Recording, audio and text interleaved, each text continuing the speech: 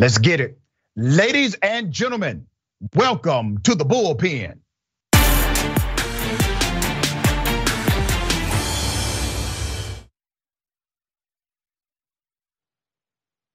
In the bullpen today, we have Representative Ro Khanna, Democrat, 17th Congressional District out of Cali on the show today. Not a debate, more of a conversation. Representative, an honor to have you on the program. How are you?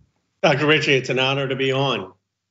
Let's get right into it. We got a few minutes. I want to talk about the January 6th committee hearing. A lot of things are coming out. Roughly 90% we already knew. I had a good idea of. Um, how do you think, in your estimation, how do you think this is going so far? Uh, and do you think more should be done? Well, it's getting all the facts out for history to the American public. And it's forward looking. And here's why it's forward looking, Dr. Richey, because there are 57 people who were at the insurrection who actually scaled the walls of the Capitol or stood outside and cheered that on, who are now running for federal or state office in the United States of America, Secretary of States and governors.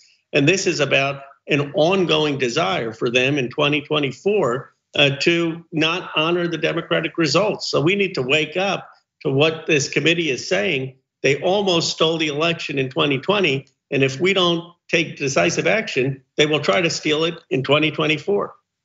Let me ask you a direct question because I have some issues with the January 6th committee and how they are doing this presentation.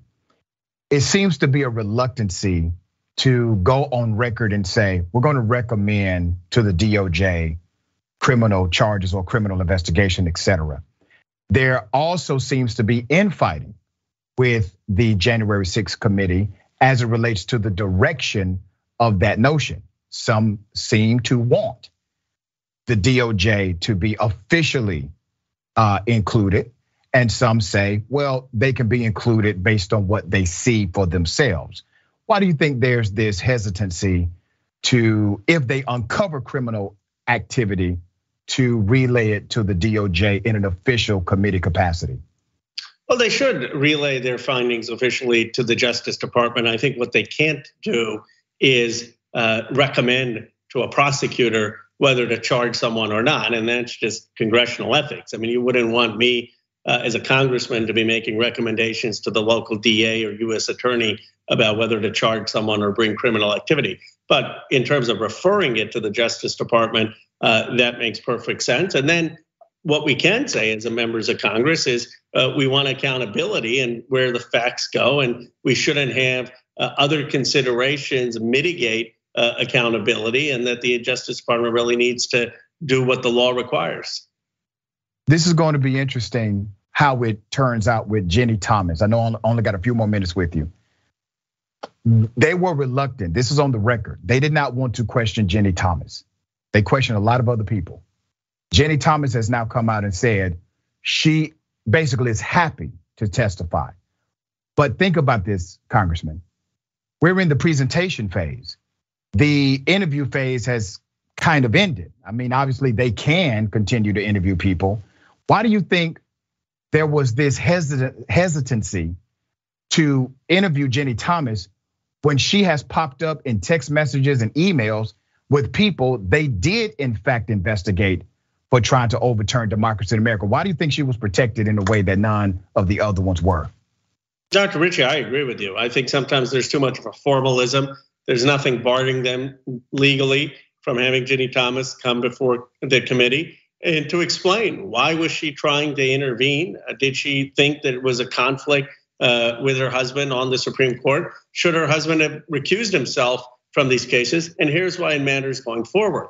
Should her husband recuse himself in the future if hmm. cases like this come up. So I think people keep saying, well, why does it matter? It was a year and a half ago. And you know what? If it was a year and a half ago, and if everyone in this country had agreed it was horrible and wrong, uh, you know, we could let the Justice Department do its job. The problem is there are a lot of people who are part of the insurrection who are running for office saying, I'm proud of being at the insurrection and I'm going to help uh, make sure that that uh, our party keeps power. That is a scary thing. We need to wake up into the, this country about the threat that we're facing across this country in Secretary of State and governor elections.